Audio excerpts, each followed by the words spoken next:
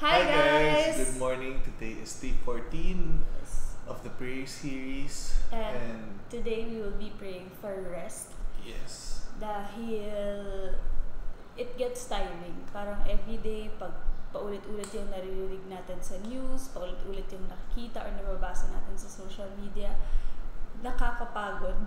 yeah. Nakakapagod mag-hope, nakakapagod umasa, nakakapagod, nakakapagod in general lahat ng nakikita natin. So we're going to pray for rest. Yeah, and it says also sa Google, yung sa dictionary, yung rest, ang verb meaning niya ay relax, refresh oneself, or recover strength. I think all of us, um, we need those things. Mm-mm. even especially the frontliners, they need to relax, ref- uh, refresh oneself, and recro- recover strength.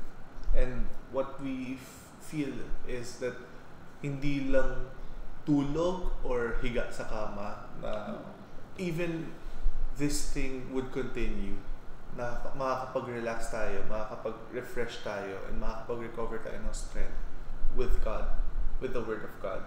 That's why it says in Matthew Matthew 11 verse 28. Then Jesus said, Come to me, all of you who are weary and carry heavy burdens, and I will give you rest. We will pray for that that um, hindi yung kama or tulog yung makakapag-refresh lang sa atin but the Spirit of God that He would carry everything that we're carrying, all our worries and anxiety. Let's pray. Lord, thank you, Father, that um, you are there, God. That even you said, Come to me who are um, weary and carrying burdens. Lord, thank you because when we go to you, Father, you would give us rest. You would give our spirit rest, Lord. Lord, the worry, anxiety, and everything, lahat ng mga naiisip namin, sobrang gulo na, araw-araw nagbabago-bago, araw-araw nagbabago yung situation, sometimes lumalala. But Lord, we pray, Father, that our spirit won't rely on the situation that we're facing, but it would rely on you, Lord. And we know that if it relies on you, you would give us rest. You would refresh us. You would give us the supernatural strength, Lord. You would even give us joy and peace. Thank you, Lord. We declare that, Lord, in Jesus' name. Thank you, Lord, because rest comes from you. Thank you, Lord, because we can rest in your presence. We can rest in your name, God. Thank you, Lord, because right now we're declaring, God, that you will remove all the weariness in our hearts, Yes. all the anxiety, the sadness, the stress, the negativity.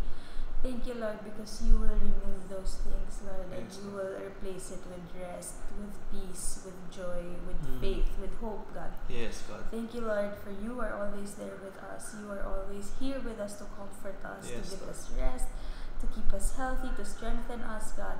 And I just pray, Lord, that we will fix our eyes on you, Mhm. Lord, and we would always remember that we can find rest in you, Lord. Yes. Not not maybe hindi sa paligid namin kami makakapag-rest because of the situation or the things that are happening. But thank you, God, because our rest will come from you Yes, God. And we could be happy, we could be joyful, we could be peaceful, Lord, in this situation. Because you are there for us and you're gonna protect us, God. You're gonna give us strength, Lord. Thank you, Lord, in Jesus' name. Amen. So again, we encourage you to pray. I know we, we've been encouraging you every day to pray with your family, friends, um, parents. But right now, we encourage you also to send that verse. If you have a relative na frontliner, send Mhm. it.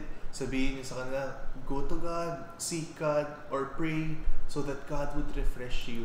Or even send it sa mga family members niyo, yung verse na yun, so that they would be encouraged also. Or you can also pray for them, send them kahit short prayer Yeah. lang isend nyo sa mga friends nyo na frontliners or kung sino man na Yeah. gusto nyong i-refresh. Yeah. Point them to God lang talaga.